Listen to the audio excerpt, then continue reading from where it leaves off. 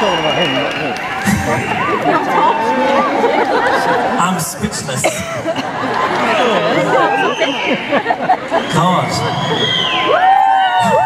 I've got to say that every time we come to Manchester, it is one.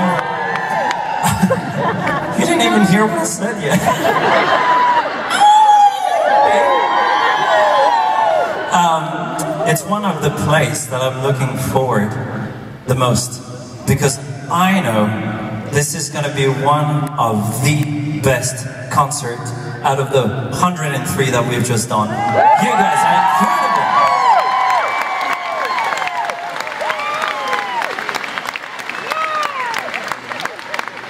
Even with the lady that was like blowing me kisses and, her husband next to her was like,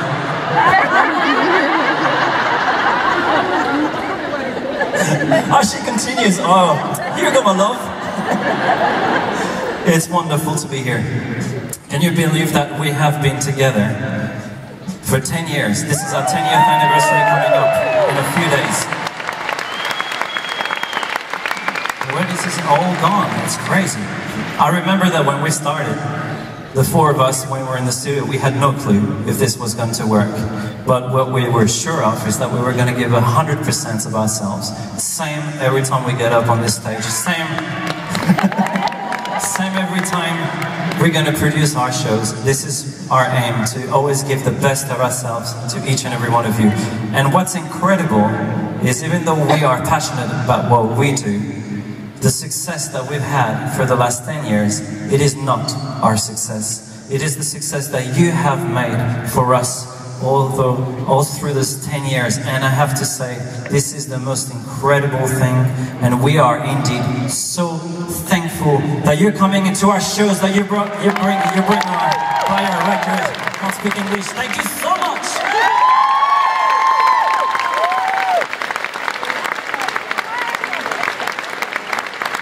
I'm full of emotion, emotion. I can't find my words. Terrible. What is it, love? It's good, isn't it?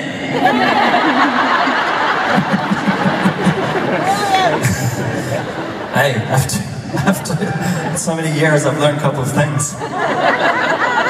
I love when I go to the market, you know, in uh, London, and she said, Hello, my love, do you want anything, my love?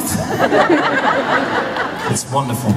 Um, the way I've connected myself to musicals is basically um, I was in Paris and I put my TV on, and uh, um, for the first time I watched an incredible movie. But that was just after uh, Benny Hill. yeah, we had Benny Hill. That was my favorite.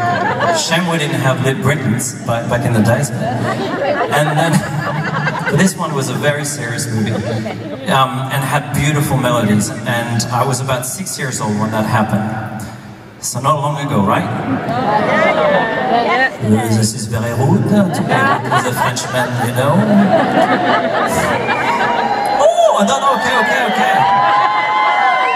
I actually feel, feel more British than French now, after all these years.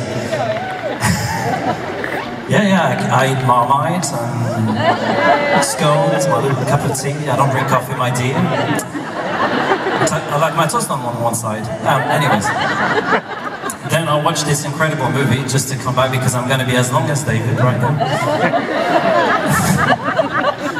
Don't say anything rude with this. And um, I was hoping that one day I'll be able to sing some of those wonderful melodies, but it hasn't really connected to what I was doing when I was in my 20s because I used to do pop rock music.